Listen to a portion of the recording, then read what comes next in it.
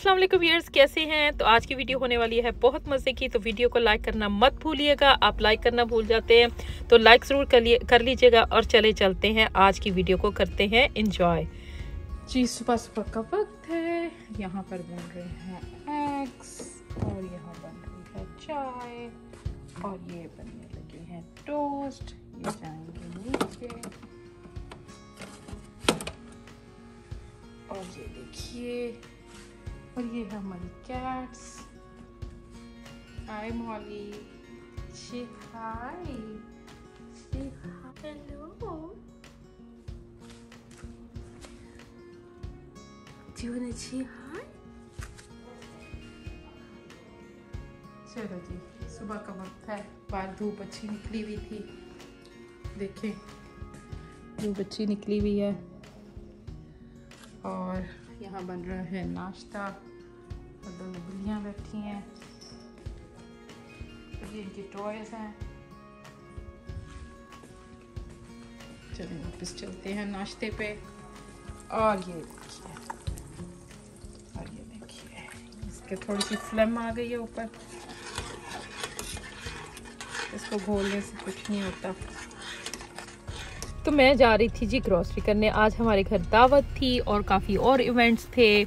मेरे वाल साहब की बर्थडे भी थी तो रास्ते में मैं ये देख रही थी कि फुटबॉल मैच हो रहा था। यहाँ पर इसको कहते हैं सॉकर पार्क था। यहाँ पर मुख्तफ लोकल जो टीम्स होती हैं, वो यहाँ खेल रही थी। अगेन यहाँ पर इसको सॉकर कहते हैं। तो मैं जा रही थी लॉबलास पे।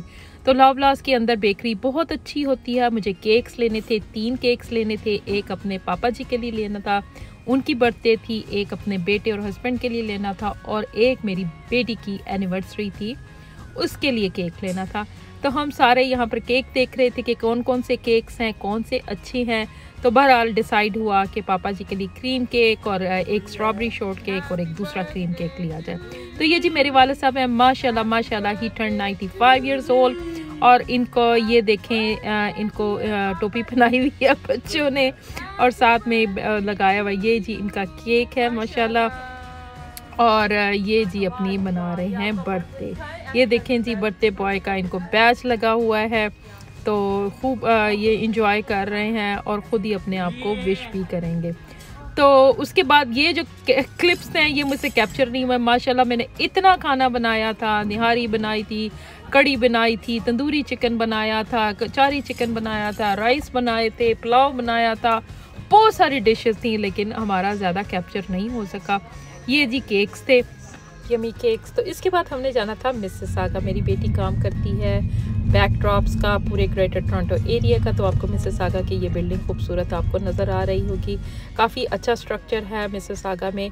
तो मेरी बेटी करती है जो इंटीमेट किस्म के स्मॉल सेटअप्स होते हैं, जैसे बर्थडे है, निकाह है और मंगनी है इंगेजमेंट है, रोका है संगीत है, मेहंदी माई वगैरह, सबके वो सेटअप्स करती है और उसके बिज़नेस का नाम है दी डॉट बैक ड्रॉप आखिर में मैं उसके पेज का नेम भी लगा दूँगी, आप इंस्टाग्राम में उससे कांटेक्ट कर सकती हैं। अगर आप ग्रेटर टोरंटो एरिया में हैं तो ये जी मिसेस आगा का स्क्वायर वन एरिया है, यहाँ पर है फ़ूड कोर्ट तो भूख लग रही थी, यहाँ का व्यू बहुत खूबसूरत है, पीछे से सारी हाई राइज आपको नज़र आती है, ये स्क्वायर वन है।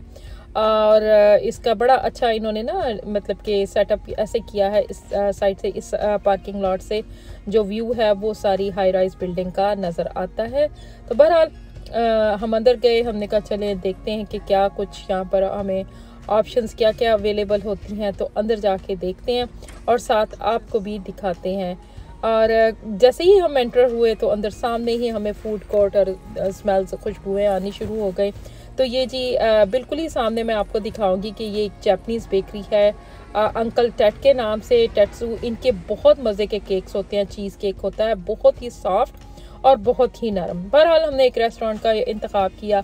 हमने कहा चले यहाँ चलते हैं और बैठ के खाते हैं खाना। लेकिन पता चला ये तो बहुत ही महँगा रेस्टोरेंट है। जब हम बैठ चुके तब हमें ज़रा अक्ल आई कि रेस्टोरेंट तो बहुत महँगा है, बहरहाल बैठ चुके थे तो क्या फ़ायदा? पानी ही की बोतल हमने पानी मंगवाया, उन्होंने सिंपल वाटर देने की बजाय हमें ये छः डॉलर की स्मॉल सी बॉटल जो है, वो पानी की पकड़ा दी।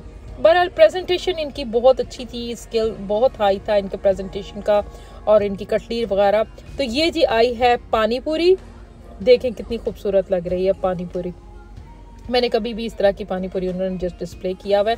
और जो पानी, इसका पूरी का पानी होता है, वो इस छोटे से, ये जो जाली नुमा चीज़ नज़र आ रही है, इसके अंदर उन्होंने पानी इसको पैक किया हुआ है। इसके अंदर ना बड़ा मतलब कि स्केल्ड था। ये उनकी, जैसे मैंने बताया कि कटलरी वगैरह प्रेजेंटेशन ये जी आया है चिकन बहुत ही शानदार था, लेकिन बहुत ही हैफ्टी प्राइसिंग थी। मैं किसी को रेकमेंड नहीं करूँगी, यहाँ जाने का सिर्फ़ टेस्ट ही नहीं होता। आपके लिए अपनी जेब भी देखनी होती है। अगर आपने जेब नहीं देखनी तो डेफिनेटली देन यू गो तो ये जी, आए थी एक नान जो था, वो फाइव डॉलर का था। और साथ में ये जो चिकन नज़र आ रहा है, और यहाँ पर आपको कुछ लैम्प चॉप्स नज़र आए हैं। बहरहाल, यहाँ से फारिग होकर बाहर निकले तो सामने ही आइसक्रीम नज़र आ रही थी तो मैंने कहा एक छोटी सी कौन उड़ाई जाए, लेकिन फिर हमने कहा, नहीं, खाना भी खा लिया। तो बस इसकी हमें पिक्चर ही काफ़ी है। तो उसके बाद हम वापस निकले, हमने जाना था सेटअप की तरफ़। तो ये देखें जी, ये मोनरो बिल्डिंग के नाम से जानी जाती हैं। बहुत ही खूबसूरत स्ट्रक्चर बनाया हुआ है। ये बिल्डिंग ऐसे लगती है जैसे किसी वेमेन की बॉडी है, उस तरह नज़र आता है बहरहाल। तो ये है जी, घर के पास वाला। ये भी मैंने कहा, एक ही जगह आपको ये क्लिप लगा दूँ। तो जब हम घर जा रहे थे फोर वन के ऊपर तो ये वहाँ की बिल्डिंग का स्ट्रक्चर है। बहरहाल सेटअप पे पहुँचे तो जी ये फाइनल सेटअप हुआ। बहुत ही खूबसूरत टेबल्स वगैरह और ये मिसाका के अंदर किया था, एक हाई राइस थी, वहाँ किया था। बहुत ही अच्छा आउटकम हुआ इसका।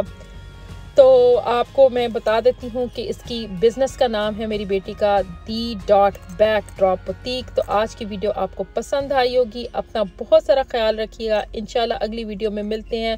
टेक केयर लाइक करना मत भूलिएगा। अल्लाह हाफिज़।